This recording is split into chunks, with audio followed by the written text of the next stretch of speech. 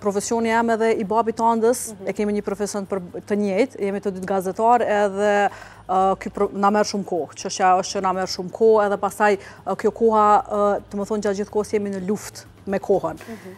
Dhe zakonisht kur kthehemi njerë, Anda shkon në mëngjes në shkollë, pastaj pas përfundimit shkollës, kthehet me gjyshin në shtëpi, gjyshërit i kemi pjesë të pandashme t'jetës edhe na kanë ndihmu shumë këtë komunikimin, me ndërtu këtë komunikimin edhe këtë mirëbesimin edhe me mhm. fëmijët edhe në familje në mes, pastaj Anda shumicën e kohës kur kthehet prej shkollës, qëndron disa orë me gjyshërit aty në shpi, merret me detyrat e shtëpisë derisa nana dhe babi kthehen prej punës, masnej në mbramje e kemi një kohë t'veçantë që i kushtojmë njëna-tjetrës, ulemi mhm. bashkë, i diskutojmë gjitha problemet, ato që ka, ka ndodhë në shkollë, diskutojmë për detyrat, edhe pse Anda tash është shumë e pavarun në detyrat e veta, Po megjithatë, gjithmonë kujdesemi me me shiku nëse Anda i ka përfundu të gjitha obligimet e saj, pastaj në mramje, përkundër që dita është shumë e rëndë, shumë e angazhume, Anda pas krejt kryerjes këtyne obligimeve, detyrave, i kushton shumë rëndësi pikturimit, kohës saj të veçantë edhe e shumë shumë shpesh e gjej të strukun aty në mramje para gjumit, e mbyll derën e dhomës edhe pikturon gjatë gjithë kohës, masi vjen m'i tregon pikturat e saj,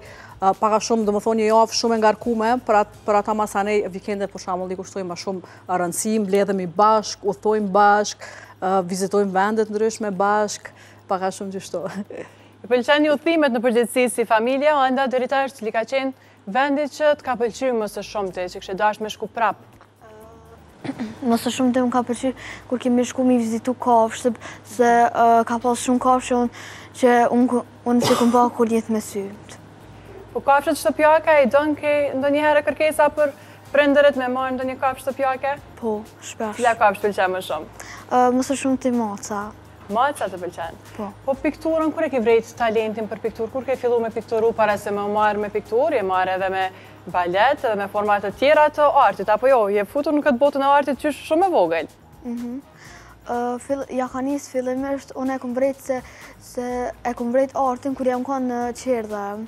Se mësusja gjithmonë, mësusja një ditë na ka thonë për të vizatuar familjen, e mu m'ka interesu aq shumë që aq shumë e shpenzojsha kohën, derisa fëmijët u kënaqën dhe e kam përfundu vizatimin, une u fokusojsha në vizatim për t'u dokë i bukur.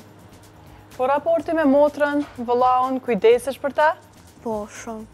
I don shumë? Edhe gjatë mhm. fundjavës mundohesh me kalu kohë me ta? Po.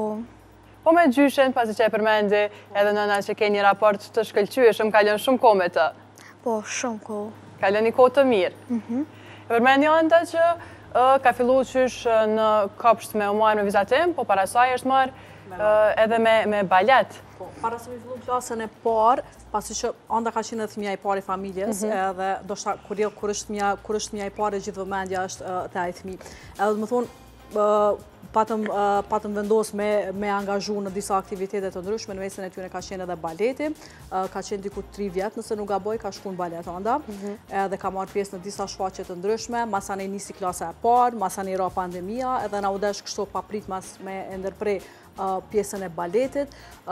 Para një deri para një viti Anda ka qenë gjithashtu edhe në shkollë të muzikës, i ka ra pianos një kohë, disa muaj, edhe tash po merret me pikturë.